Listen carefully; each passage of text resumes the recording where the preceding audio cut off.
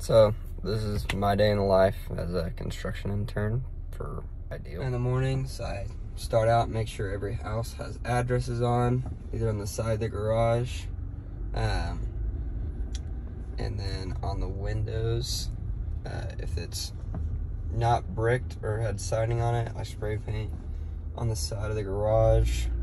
Um, the houses that don't have addresses, just of put shoe polish on the windows. Make sure there's an address on it.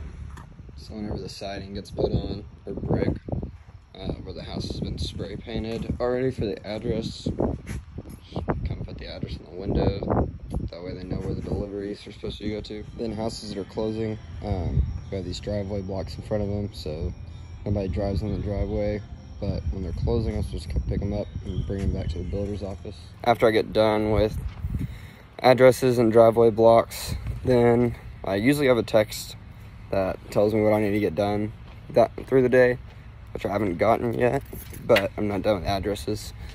So if I'm not, if I get done and I haven't received the text yet, I usually just ask the builders if they need any help. Uh, but, so I guess we'll see whenever I get the text message.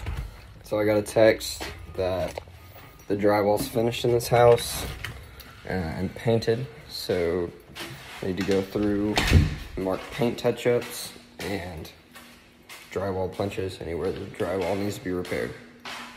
Now I'm at Lowe's, get some more paint brushes and some numbers for addresses.